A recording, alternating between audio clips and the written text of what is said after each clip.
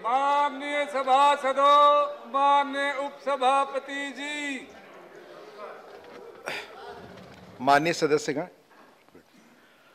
मैं दो चीज़ें आपसे बताना चाहूँगा।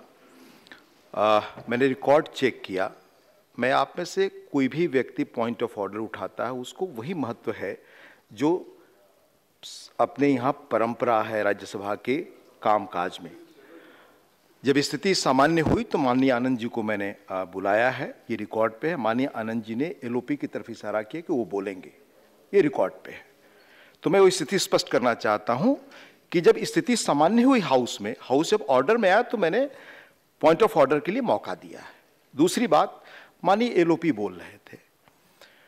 रिकॉर्ड में आप देखें इस सदन की बड़ी गरिमापूर्ण और बड़े वर्षों से परंपरा रही है कि लीडर ऑफ़ हाउस और लीडर ऑफ़ अपोजिशन बोलते हैं तो कोई टिक्का टिप्पणी ना हो। उनके बोलने के दौरान भी आप रिकॉर्ड निकाल कर देखें, शोर होने लगा।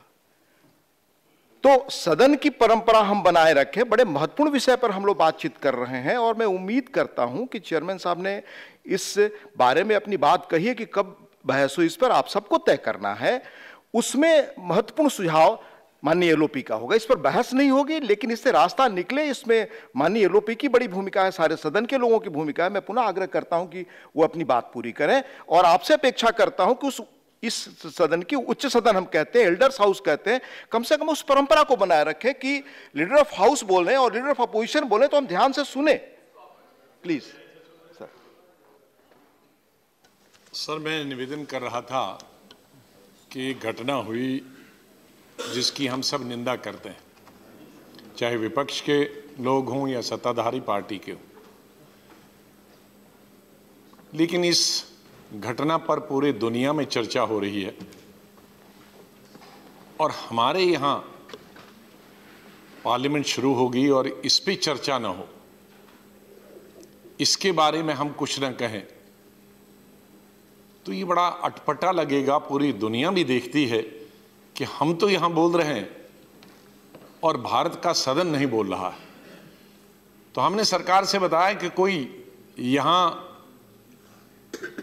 एक दूसरे पर कोई हमला करने की बात नहीं। हम सब चाहते हैं, जितने विपक्ष के लोग हैं, कि जो कुछ भी हुआ, बहुत दुख की बात हुई। मैं देख रहा था, कल उमर, चाहे वो किसी समुदाय के हों, किसी धर्म के हों, वो हिंदुस्तानी थे, इंसान थे, हमारे भाई थे। वो किसी भी धर्म का। मैं उनकी उम्र देख रहा था, आयु देख रहा था।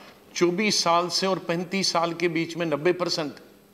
तो अब अंदाज़ा लगाइए कि देश का कितना नुकसान हुआ है। संपत्ति तो अलग छोड़िए, दुकानें अलग छोड़िए, लेकिन हमारे जो भाई बच्चे, चाहे उस तरफ़ के हों, इस तरफ़ के हों, किसी धर्म के हों, हमारे बच्चे चले गए। तो ये एक बहुत ऐसा विषय है जिसके हमें चर्चा करनी चाहिए हमें लड़ाई नहीं करनी है कि दोबारा इस तरह की कोई घटना देश में न हो।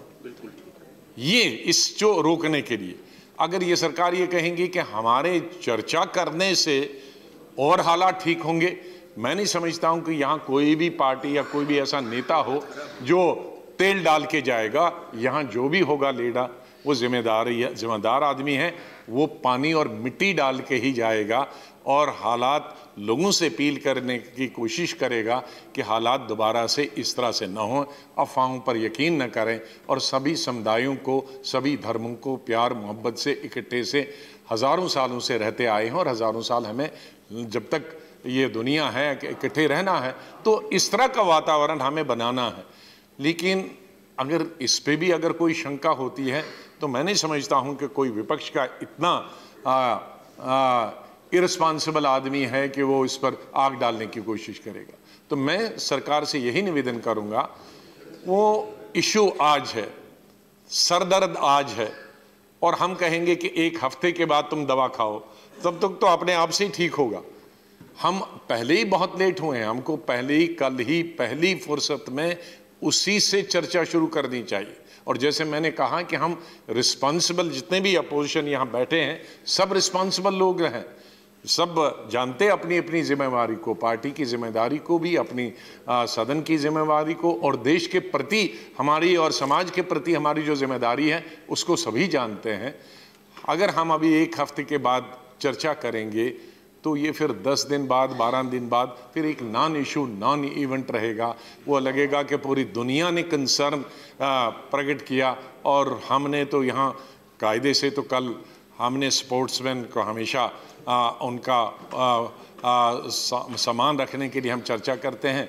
का बल्कि मैं तो कहूँगा माननीय डिप्टी चेयरमैन से देर तो हो गई अभी भी कोई देर नहीं हुई कि कल हम उन जिन लोगों को जो आ, मारे गए हैं इन दंगों में तकरीबन चालीस सैंतालीस अड़तालीस उनके प्रति तो अपनी सद्भावना यहाँ दिखानी चाहिए। उनको दिखाने कि जो भी घटना में मारे गए बहुत बुरा हुआ और उनके प्रति उनकी आत्मा के प्रति हमको वो भी करना चाहे तो हमको पार्लियामेंटेरियंस को उस तरफ़ के या इस तरफ़ के अपनी ज़िम्मेदारी से भागना नहीं चाहिए अपनी ज़िम्मेदारी को पूरा करना चाहिए। धन्यवाद। Thank you leader of house उपसभापति महोदय मैं सरकार की ओर से ये स्पष्ट करना चाहता हूँ कि सरकार इस विषय पर चर्चा करने के लिए तैयार हैं। जब भी सभापति कार्यक्रम तय करें चर्चा का समय तय करें, हम चर्चा करने के लिए तैयार हैं। हम ज़िम्मेदारी के साथ कह रहे हैं, हम इधर उधर भागने की कोशिश नहीं करते हैं, सरकार चर्चा के लिए तैयार है। माननीय सदस्यगण लीडर ऑफ़ हाउस ने भी कहा, लीडर ऑफ़ अपोजिशन ने भी कहा। चूँकि माननीय चेयरमैन साहब से इस बात पे परामर्श करना होगा, आप सब जानते हैं। वो माननीय चेयरमैन साहब से बात करके इसकी तिथि निर्धारित करने के लिए दोनों पक्ष आम सहमति है और इसका सचमुच बहुत दुखद घटना है। इसका इसके बारे में चेयरमैन साहब ने बार बार कहा कि इस पर चर्चा होनी चाहिए। जी। एक आग्रह है आपके माध्यम से क्योंकि नेता सदन नेता प्रतिपक्ष जब दोनों एक ही मत के हैं तो चर्चा आरंभ करें ये आप माननीय सभापति महोदय को ज़रूर आपकी भावना हम लोग सुबह कल सुबह आप आरंभ करें 11 बजे से चर्चा हो देश सुने और सब कुछ ठीक हो यही हम चाहते हैं। ज़रूर तो क्या हम लोग इस बिल पे चर्चा करें और पहले वही कल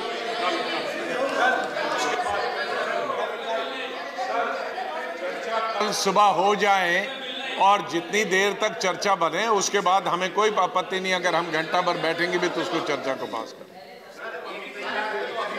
हाँ भूपेन जी एक minute. Please please please. Bhupen ji sir sir, एक बहुत अच्छे वातावरण में माननीय नेता प्रतिपक्ष और हमारे सदन के नेता ने बात करी है। आपने भी शुरू में जो सदन के प्रति गरिमा की और सदन के नियमों की बात करी थी, उसको सदस्यों ने बहुत धैर्यपूर्वक लिया है। इस सदन की ये परंपरा है कि रूल 258 में जो चेयर निर्णय देती है, वो फाइनल होता है। अगर सदन को हम पूरे लोकतांत्रिक तरीके से चलाना चाहते हैं तो हम सदन के चेयर को ये फोर्स ना करें कि कब करें, ये विषय चेयर के निर्णय पे छोड़ें और तभी हम सदन ढंग से कर सकते हैं।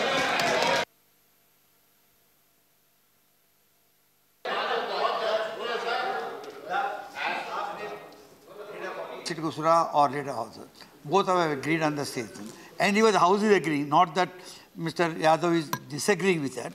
आप पे छोड़ दिए सवाल ये है अगर चाहे आपको अभी स्टार्ट करना है बहुत अच्छी चीज़ होगी नहीं आपके कुछ रिस्ट्रिक्शंस है लिमिटेशंस है तो आप कल शुरू करवाइए कल बोल के अब अर्जेंट कर दीजिए ताकि एक मैसेज जा सके कि we our first concern is the people और first concern is the issue in Delhi so let us urgent आप जानते हैं डॉक्टर केशव राव जी माननीय चेयरमैन से परामर्श के बाद ही ये बात तय कर सकते हैं। Please do it till then you the house Sanjay ji please Sanjay ji paper ले नहीं हुआ था आपका आप हैं। Report of the department related parliamentary standing committee on urban development Shri Sanjay Singh. महोदय, मैं आज की कार्यसूची में मेरे नाम के आगे सूचीबद्ध शहरी कार्य मंत्रालय, अवसान मंत्रालय के अनुदानों को और मांगों को 2020 के संबंध में शहरी विकास संबंधी स्थायी समिति 2019-20 सत्रहवीं लोकसभा द्वारा प्रतिवेदन सभा पटल पर रखता हूँ।